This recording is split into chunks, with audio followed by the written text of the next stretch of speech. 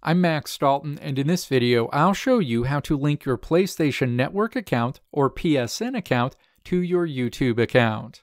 Step 1. Open a web browser, navigate to PlayStation.com, and then sign into your PlayStation account if you're not signed in already. Step 2. Click your profile icon at the top of this screen to open a menu, and then click Account Settings in this menu.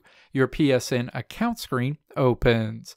Step 3. Click Linked Services in the menu on the left side of the screen.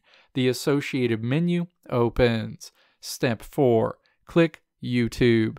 The next screen shows you what you'll be able to do if you link your YouTube account to your PlayStation account. Specifically, this will enable you to upload gaming clips to your YouTube channel. Step 5. Click Link. You'll be prompted to log in to your YouTube account if you're not logged in already. After logging into your YouTube account, a window will pop up letting you know what information Google will have access to. Tap Continue. Step 6. Another window opens letting you choose what information you want to give Sony access to associated with your YouTube account. Check the necessary boxes and then click Continue again. The next screen lets you know that you've successfully linked your YouTube account to your PSN account. Let me know if this video helped you out in the comments below. If you liked what you saw here, click the video links on the right side of the screen to check out another video.